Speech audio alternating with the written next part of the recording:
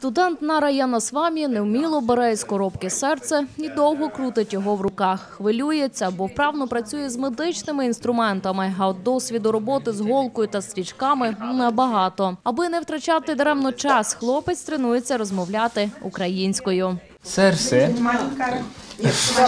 Я ніколи ні з цього не учився.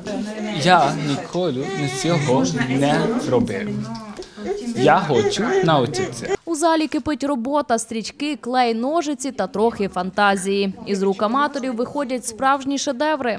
Аромату серцям додають не лише кава та кориця, а й трави. Вироби направду мають лікувальні властивості. Ми ще робимо сердечки з різними травами, тому що вони мають спеціальний такий набір цих трав, які стимулюють імунітет, будуть допомагати швидше виздоровлювати, піднімати настрій. Зрештою, Нараяна Свамі таки впевнюється, опанувати ази рукоділля неважко, тим паче, коли робиш це заради високої мети. Я вже долучався до подібних акцій. Нещодавно робив листівки до Дня Святого Валентина.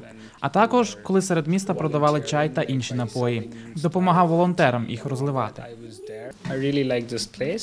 Слава Україні!